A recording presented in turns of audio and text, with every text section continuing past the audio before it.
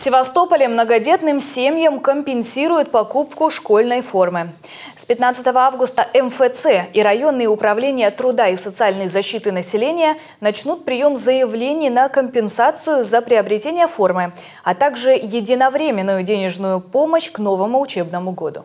Компенсацию за приобретение школьной формы имеют семьи, среднедушевой доход которых не превышает двух величин прожиточных минимумов на семью. Размер компенсации зависит от средств, потраченных на приобретение школьной формы и не может превышать 3,5 тысячи рублей.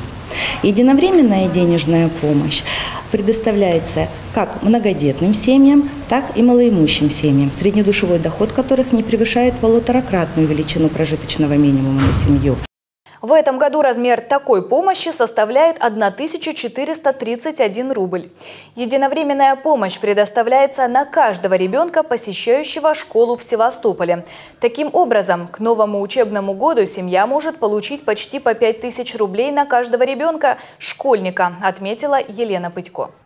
Для подтверждения необходимы сведения, в какой школе обучается ребенок, а для компенсации нужно представить еще чеки, подтверждающие приобретение школьной формы. Те граждане, которые у нас уже состоят на учете в качестве малоимущих, к заявлению могут прикладывать только сведения о том, в какой школе обучается ребенок, и чеки для получения компенсации за школьную форму. Заявления на предоставление выплат будут принимать до 1 ноября.